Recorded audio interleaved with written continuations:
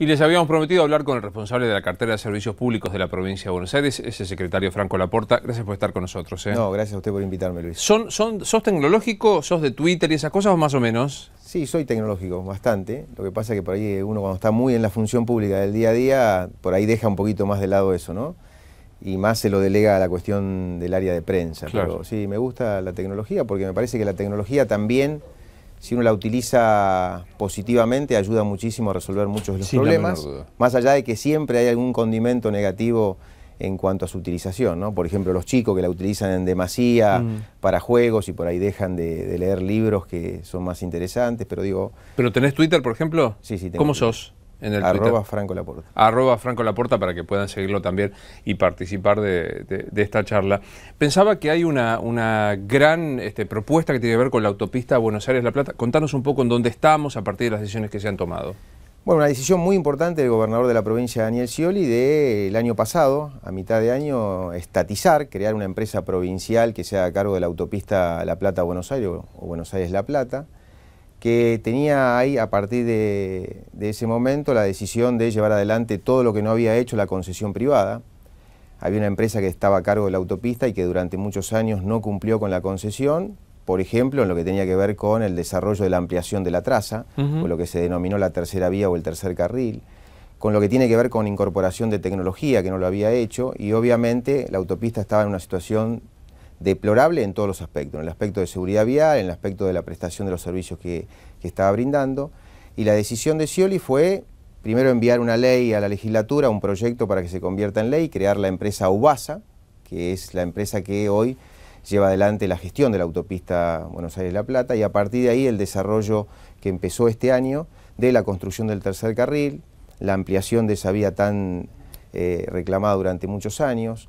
Estamos avanzando en la colocación de un sistema de luminaria nueva, luminaria de LED, para una autopista que tiene 52 kilómetros de largo.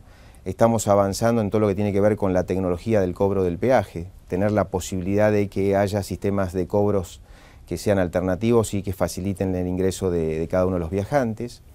Estamos llevando adelante todo lo que tiene que ver con la instalación de cámaras en la autopista y un centro de monitoreo y complementario con un sistema de vigilancia en la autopista para mejorar el tema de la seguridad ciudadana. Esto es- estam- estamos en trabajo hacia eso, calculamos que en 60 días lo vamos a tener funcionando para tratar de complementar en esta emergencia en el tema de seguridad que ha lanzado el gobernador, también desde nuestro lugar y en particular desde la, desde la autopista Buenos Aires. ¿Qué plazos se plantean para la terminación del tercer carril, que ya es casi vital, no? El tercer carril propiamente dicho termina el mes que viene. O sea, el 30 de junio es el plazo para que esté terminado y va a estar terminado porque los plazos se van cumpliendo bien. Pero vamos a estar en obras hasta fin de año. ¿Por qué? Porque después de reparar el tercer carril tenemos que hacer el segundo, tenemos que reparar el primero y tenemos que hacer toda una manta que cubra los tres, los tres eh, carriles para Que quede eh, nivel. lograr, claro, uniformar, que haya drenaje del agua como corresponda y a partir de ahí volcar sobre ello la señalética, ¿no? la pintura, eh, todo lo que tiene que ver con la, la señalética horizontal eh, que hace al funcionamiento de la seguridad vial, ¿no? propiamente dicho. Así que vamos a estar durante todo este año en construcción de diferentes cosas. Le pedimos a la gente paciencia. Yo sé que los viajantes tienen que pasar por la autopista en forma muy lenta porque estamos en obra. Eh, lamentablemente no tenemos otra posibilidad de resolución que no sea tránsito lento, pero lo que sí decimos es que a fin de año el gobernador Daniel Scioli va a cortar la cinta a una autopista gerenciada y administrada por el Estado y que va a ser eh, muy importante porque va a ser una autopista con tecnología, con buena calidad de servicios.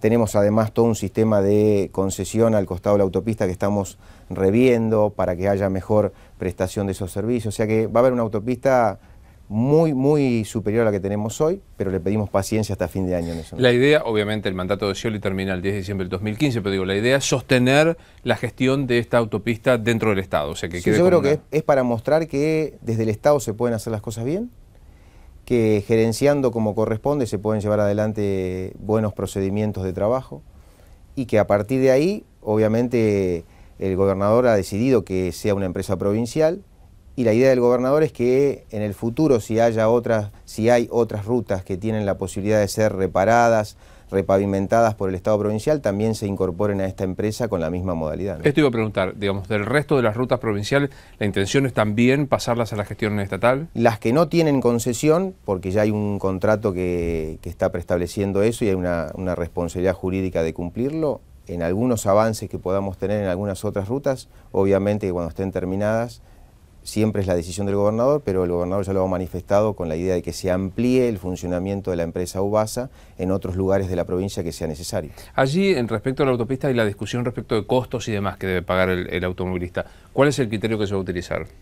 Bueno, nosotros tuvimos que aumentar el peaje hace muy poco, lo hicimos, primero porque teníamos la posibilidad de hacerlo en función de la concesión y la normativa que tiene la autopista de funcionamiento, o sea que todavía inclusive estamos con cupos como para poder ampliar ese aumento. No lo vamos a hacer porque con el aumento que ya se dio nos permite ir financiando gran parte de las obras. También queremos decir que todo lo que se hace en la autopista Buenos Aires-La Plata en gran parte se financia con el peaje.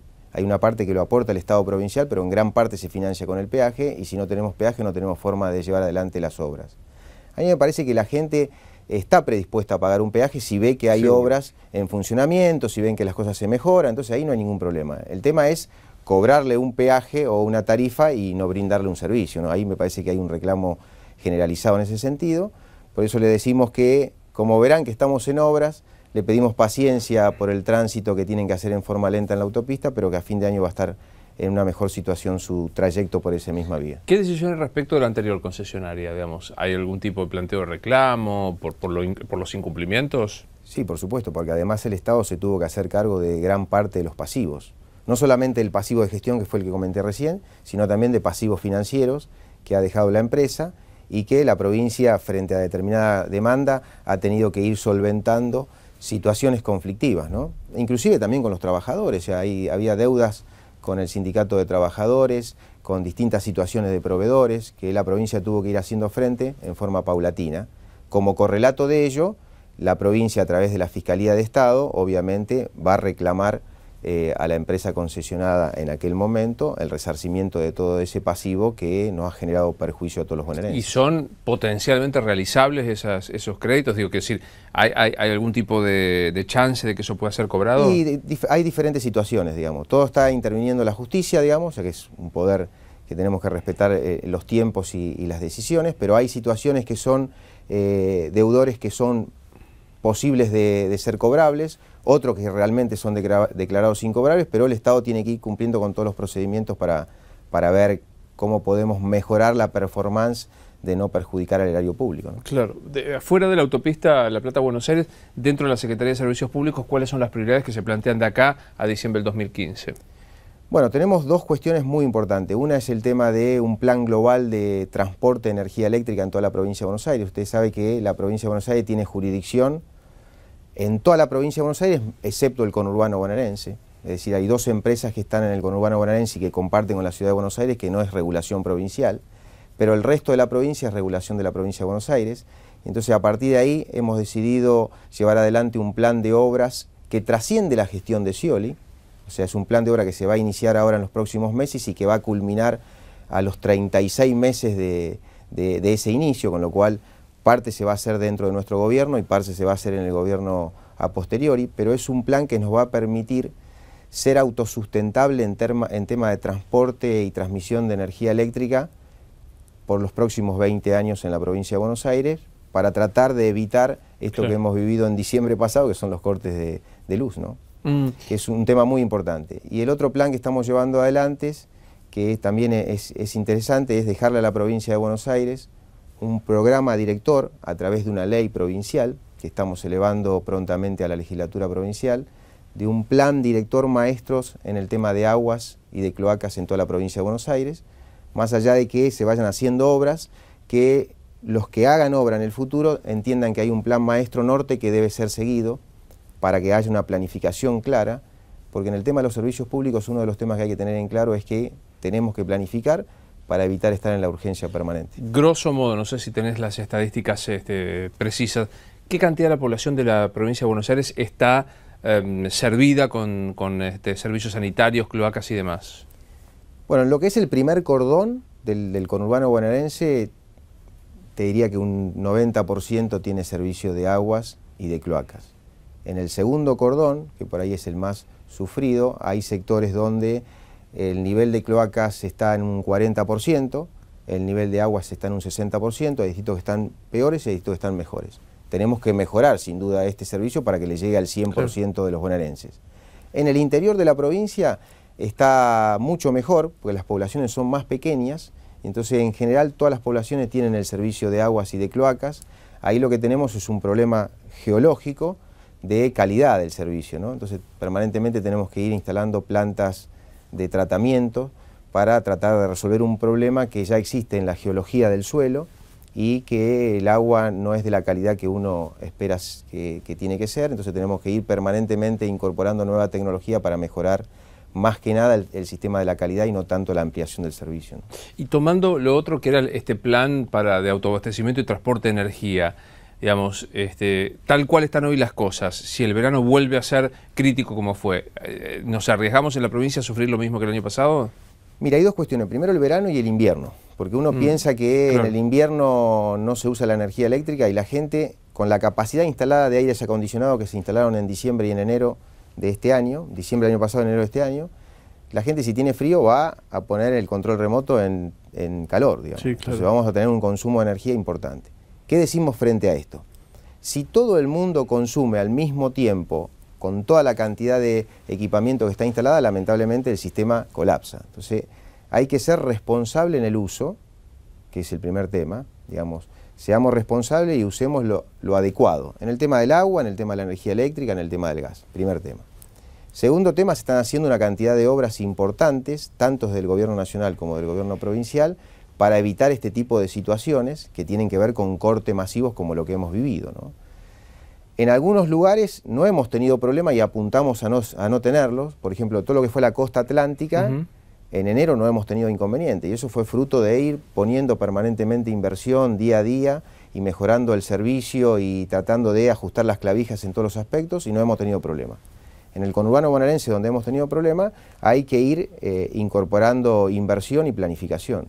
No se resuelve el tema del el corte de energía cuando se dio el corte en forma masiva, porque ahí no hay forma de resolverlo. Digamos. Esto hay que planificarlo en forma previa, salvo que haya algún tipo de incidente o algún tipo de siniestro, digamos. pero si es por consumo hay que planificar con mucha anticipación para que eso no ocurra. Tenemos que hacer lo que estamos haciendo, digamos, planificar obras desde ahora para que en diciembre estemos en mejores situación. ¿Qué pasó con el tema de resarcimientos de aquellas personas que sufrieron cortes?